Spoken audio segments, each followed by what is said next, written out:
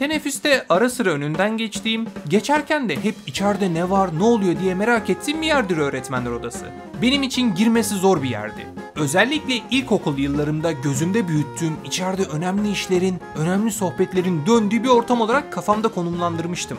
Hatta bazen bazı öğrenciler elini kolunu sallaya sallaya içeri girerdi. Çok şaşırırdım. Çünkü o zaman bize öğretilen şey oraya girmenin yasak oluşuydu. Sürekli yasak yasak demelerindendir belki de bu kadar merak duygumuzu kabartan şey.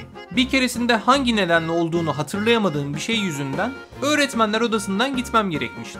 Ama daha kapı önünde bile o kadar gerildim ki bir 5 dakika öğretmenim acaba dışarı çıkar mı diye bekledim. İçeri girmektense öğretmenimi beklemek daha mantıklı gelmişti. Ama beklemekten sıkılınca hızlı kalp atışlarım eşliğinde kapıyı tıklattım. Sonra içeri girdim. Kapıdan kafamı soktuğum an böyle bir gerildim, ettim. Hemen gözüm öğretmenimi aradı. Zaten kapıyı açtığım gibi herkes anlık bana baktı. Tırsmadım değil. Bir müddet etrafa baktıktan sonra öğretmenimi gördüm. İçeriye utangaç utangaç girdim. Elimdeki kağıdı teslim ettim.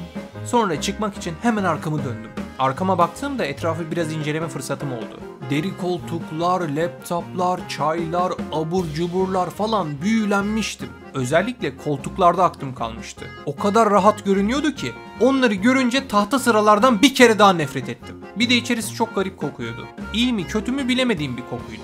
Bu arada odaya bir kere girince alıştım. İşim düştüğünde çok korkmadan harekete geçebiliyordum ama mesela ortaokuldayken Nöbetçi olduğumda daha da rahat girer çıkardım. Öğretmenlere çay servisi, kantinden getir götür yapmışlığım var. Mesela özellikle öğretmenler odasının kapısı ikinci dönem sonlarına doğru bir hayli kalabalık olur. Sebebi ise not isteyen öğrencilerdir. Hele ki lisede aman aman yanına dahi yaklaşılmaz.